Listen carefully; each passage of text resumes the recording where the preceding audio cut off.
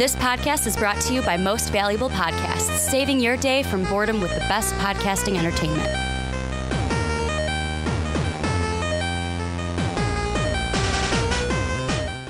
What's up, what's up, everybody? Ricky Widmer here, along with fellow man child Johnny Karlic. Everyone wants to taste me strawberry smiggles. and we do have strawberry schmiggles. Right Johnny there. was able to bring it in from Comic Con. You've had it for a C2E2. while. Same thing.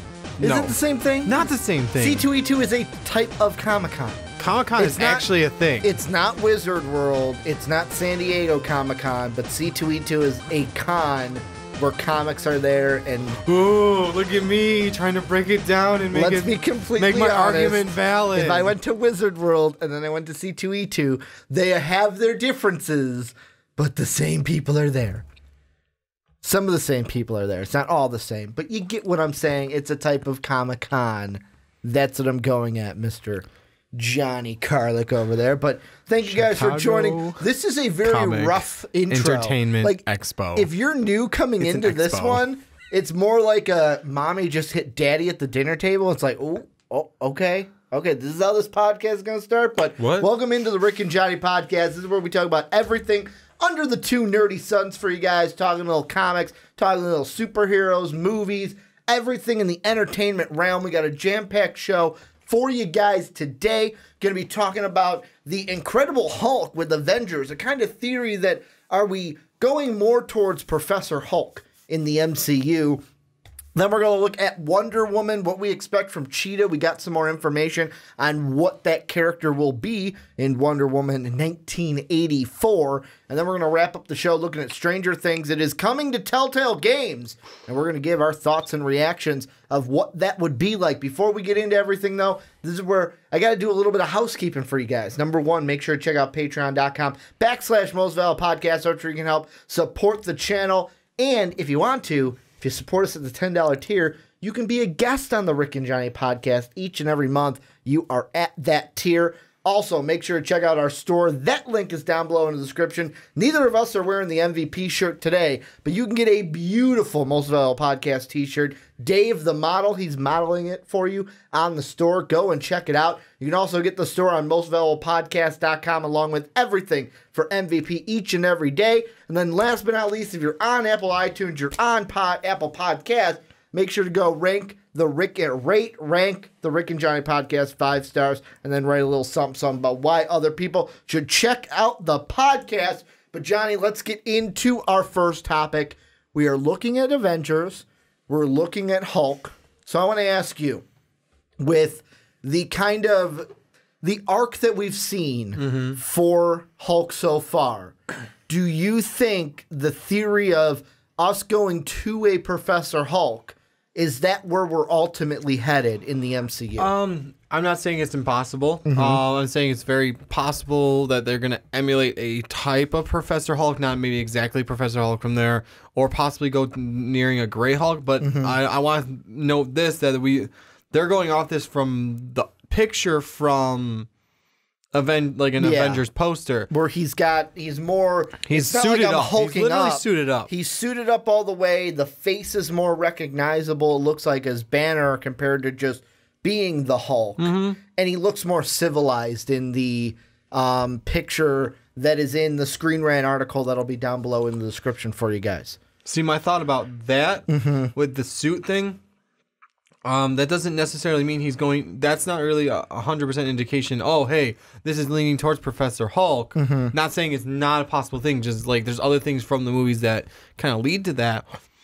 Going off of that's not great because um maybe they've changed up a little bit more so that Mm-hmm. hey. Bruce, you kind of have a problem every time of a suit once you change back Mm-hmm. being naked. Hey, this is a great way to solve that problem. A full body suit Mm-hmm. that stretches to Hulk size. Well, and the thing that I, I'm kind of on the side of after I read the Screen Rants article, Mm-hmm. I was like, you know what? I could see them go more towards a Professor Hulk kind of. Oh, I'm not way. Mm-hmm. arguing that. It's just there's other things in the MCU. You're saying that the suit is not the reason why they're going not to go the Professor like Hulk. don't use the suit Yeah. as the reasoning.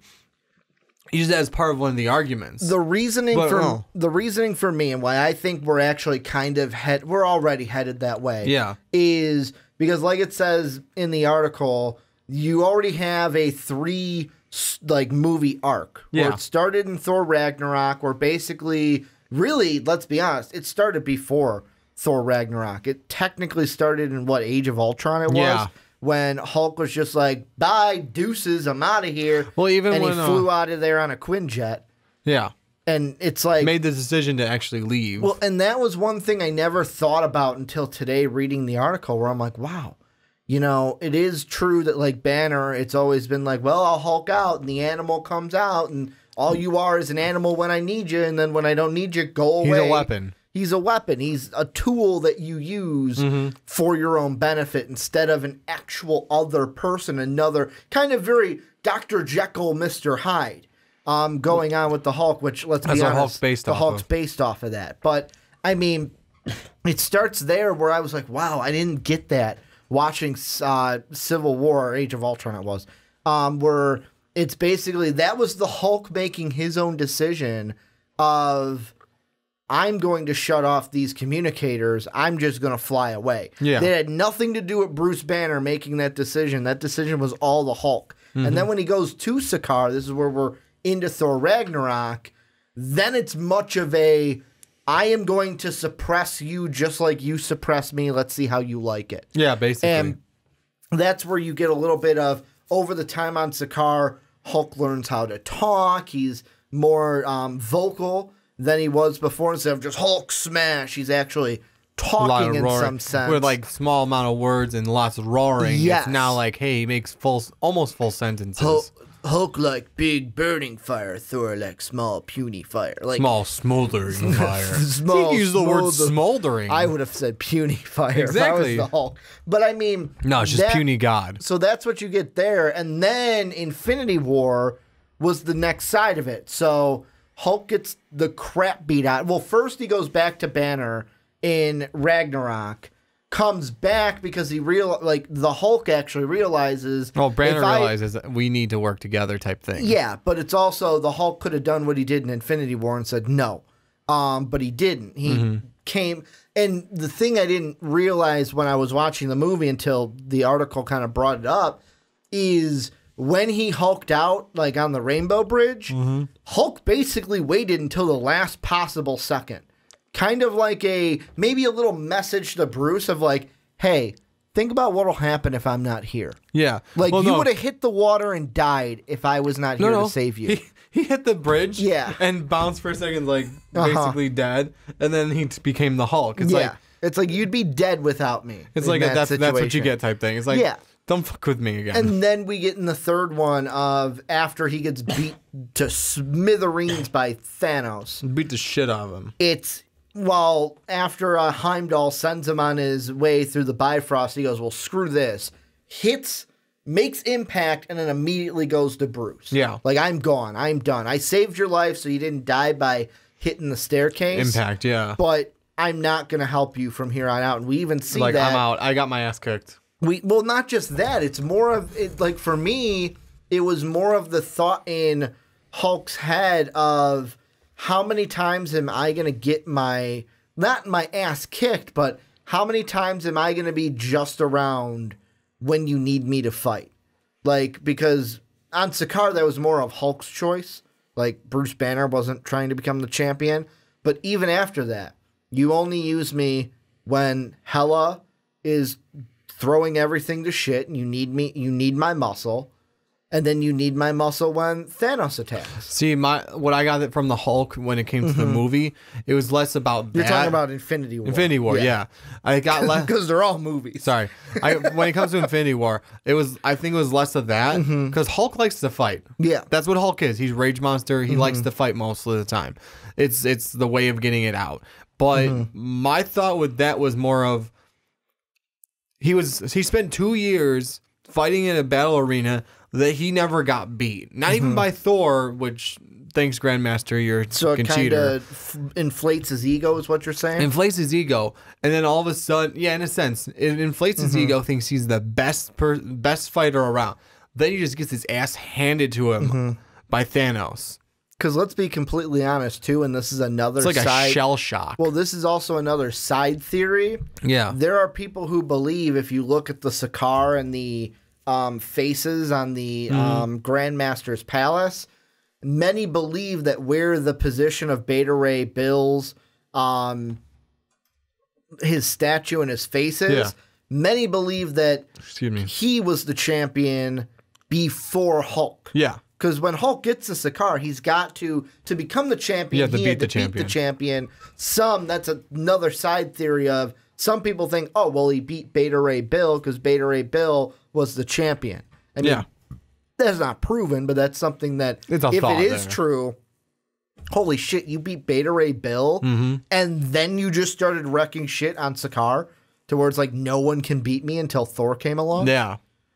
And that's my thought is that from Ragnarok, Mm-hmm. two two full years at least of um being a a champion battle arena. Mm-hmm. And not then- even that. When the Avengers, it's like, oh, if he ever kind of turned against us, what kind of can inflate your ego is you had to make a special Iron Man armor just to fight me. There's that. There's um the fact that they pull him out as the special weapon, like that kind of would inflate your ego too. Mm-hmm. For the Battle of New York. Uh, anything battle of new york well first scene in age of ultron where they're all fighting uh, the Mm-hmm. Yeah. final hydra base um basically any time Mm-hmm. that can inflate your ego just the fact that he thinks he's strongest there is. Mm-hmm.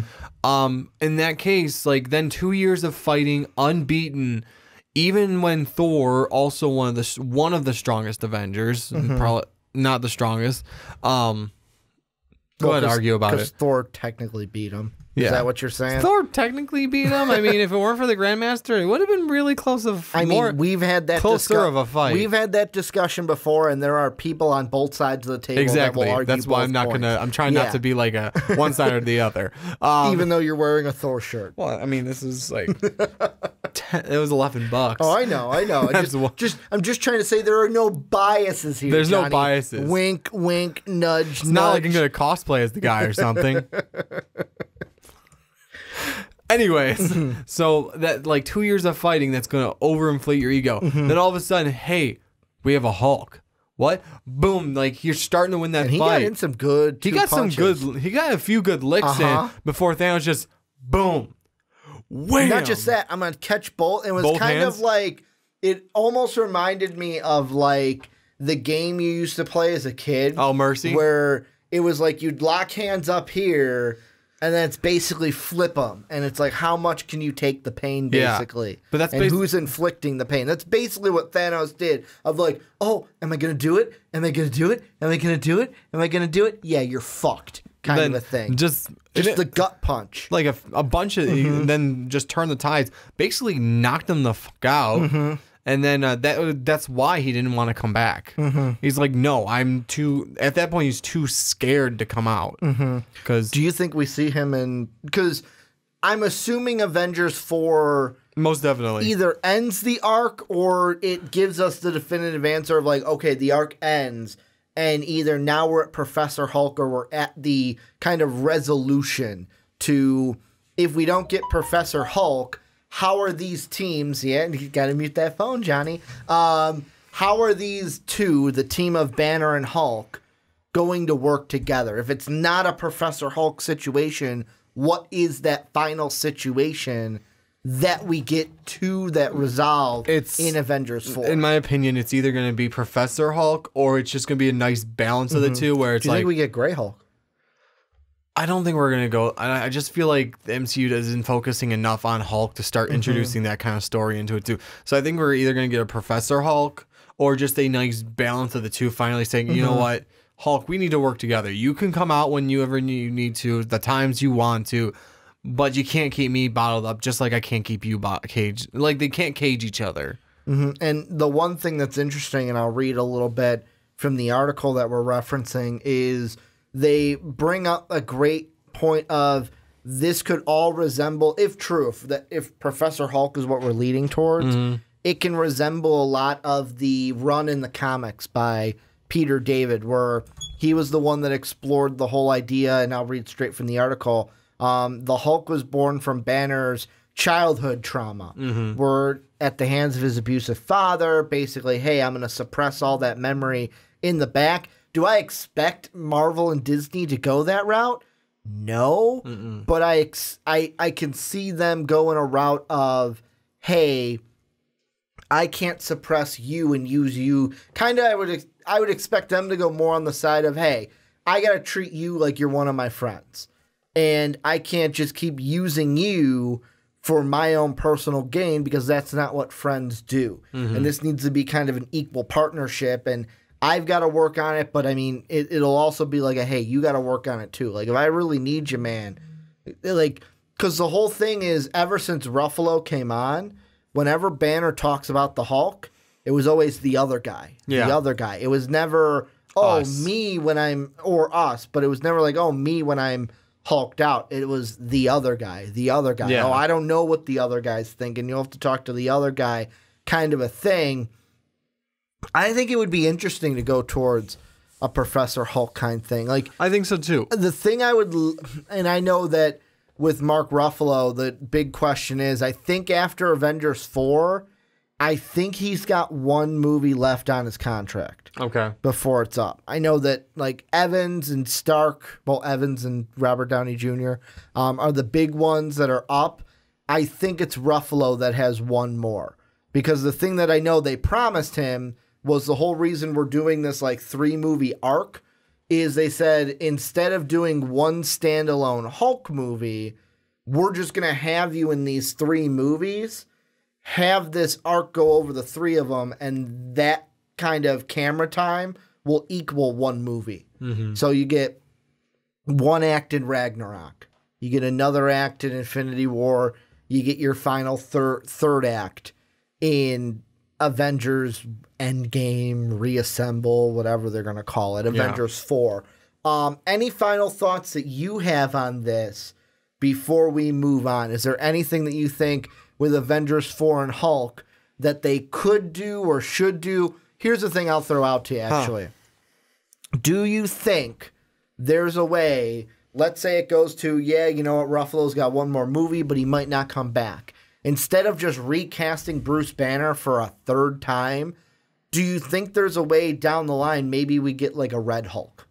Where we get a different Hulk. Maybe if it's not Gray Hulk, it's Red Hulk. Or they bring in She Hulk for some It'd part be, of it. uh, you wouldn't do Grey Hulk because that's still an embodiment of Bruce Banner. So you would would either bring in She Hulk. Exactly. You'd have to you either She Hulk it, you Red Hulk Mm-hmm. it, then you'd be bringing in Thunderbolt Ross. Or I think the last one I was gonna say was you do a a strictly Hulk movie Mm-hmm. where there is no Banner. Yeah.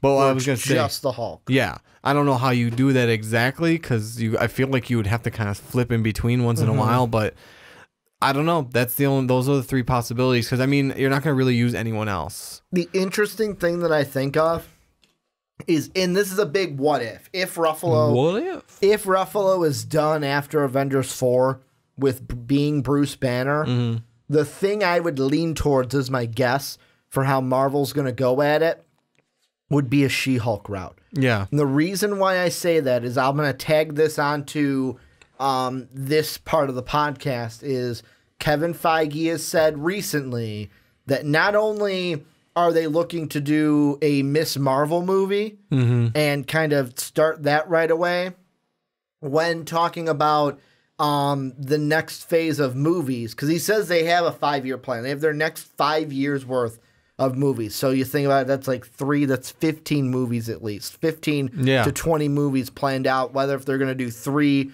or four movies. We also don't know what their Avengers lineup is going to be, how they're going to change that. If they get the Fox X Men, how does that change the Avengers Yeah, lineup? exactly. But I would lean towards if Ruffalo's like, yeah, you know what, after this next movie, I'm done. I would lean towards a She Hulk because one of the things Feige did mention was that, hey, we want to go through in our next phase having a lot more female directors come in and do stuff. So, what a better way to do that than basically Wonder Woman it, where we're going to have a She Hulk movie and it's going to be directed by this female director and link that up. Or like we're going to have this Miss Marvel movie, it's going to be directed by this fantastic um, female director. So out of that, that's why I would lean towards She Hulk. Yeah. Although I don't think that like unless I hear an article where it's like, oh, Bruce Banner or Mark Ruffalo might be done as Bruce Banner, I'm not going to assume he's done. The two that I'm going to No, assume I wouldn't assume either. are Evans and Stark. Yeah. Any final thoughts before we move on? Um, my, the one thing I was gonna say is um to do with the Hulk in um the, what the whatever the fourth movie is gonna be called um would be nice, and they describe in this article as well um where he talks to uh, psychologist Doc Samson. okay. and like maybe you have like a small scene where okay like tony like goes okay bruce get in there and go talk to him you need you two need to figure this out because we like we need the hulk Like as a post credit scene, or you're talking about a scene in the a movie? scene in the movie Okay. because uh, they need the hulk back and I, I can see tony um or robert downey jr with his snarkiness going you need to get in there mm-hmm. we need the big green guy you two need to We need the big guy. You two need to figure this out. Mm-hmm. Look, points at Bruce with two fingers. Two fingers. You two need to figure this out. Mm-hmm. Get in there. And then it's just them hashing it out with the therapist, which you had said is Samson. Which is really funny because I, if and correct me if I'm wrong, or maybe even you For remember. audio listeners, Johnny's telling you to correct him, not yeah. me.